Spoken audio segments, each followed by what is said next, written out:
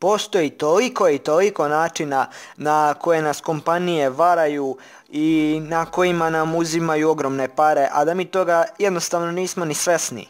Međutim, tome je došao kraj.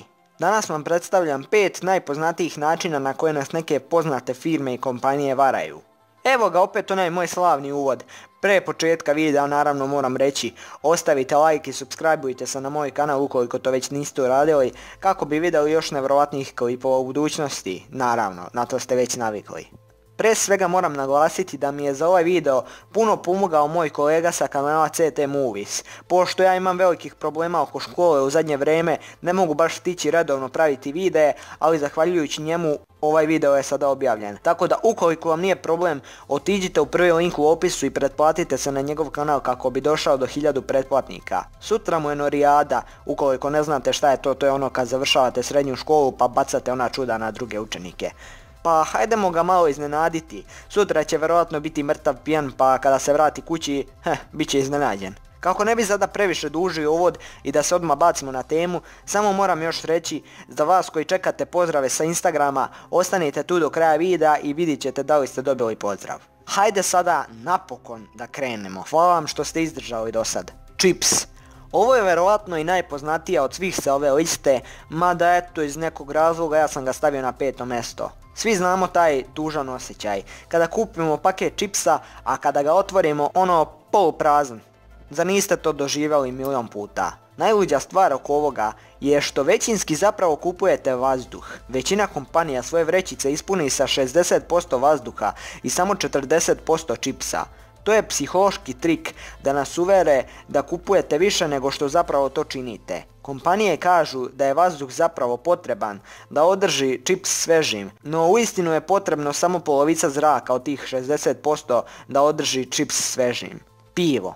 U mnogim barovima glavno prodajno piće je naravno pivo, no problem tu nastaje kada zatražite točeno pivo, pošto dosta često barovi vas i tu prevare. Da, iako vi možda zatražite pola litre piva, nećete uistinu dobiti pola litre piva, već barovi znaju imati debele čaše, te vam donijeti umjesto pola litre 0,45, 0,4 ili nekada čak 0,35 litara piva, dok ste vi platili punu cenu za pola litre. Dosta često što se zna dodati na to je previše pene, da, dosta često konobari budu upućeni da vam stave što više pene kako bi vam stavili što manje pića. Istek roka.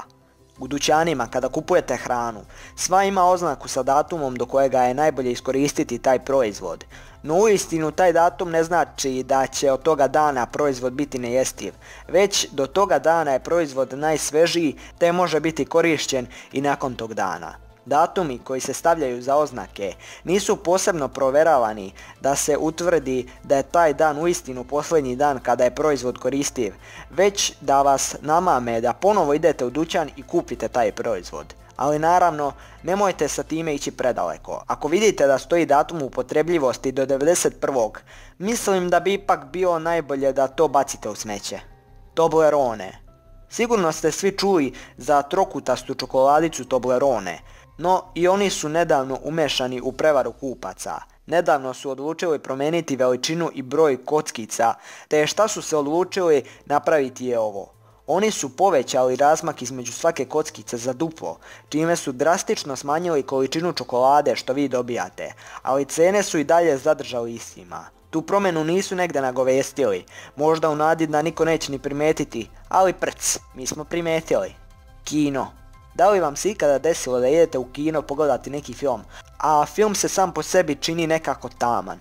Ne kao da je sniman u mraku, nego da projekcija nešto ne valja. Za to ima razlog isto, a to je da kina znaju biti škrta. Kina koriste 2D i 3D leće za prikazivanje filmova, a za izmenjivanje između te dve leće kinima troši dosta vremena i novaca. Tako neka kina da uštede vreme i novac odluče uopće ne izmeniti te leće. Možda se ovo ne čini toliko strašno, no u nekim scenama neizmenjivanje leća može potamniti film čak i do 90%. E sada vi koji ste dočekali pozdrave sa Instagrama, evo kome idu današnji pozdravi. Veliki pozdrav za Minu Bektašević, Aleksu i Sulejmana 00 koji su me zapratili na Instagramu. A ukoliko i vi želite možda da dobijete pozdrav, zapratite me na Instagramu. To vam je drugi link u opisu i u svakom od budućih videa ja ću slučajnim odabirom odabrati po troje koji su me zapratili i pozdraviti ih u videu. Evo nas napokon na kraju, hvala vam što ste gledali ovaj video i ukoliko vam se svideo ostavite like i subscribe i do idućeg videa, veliki pozdrav!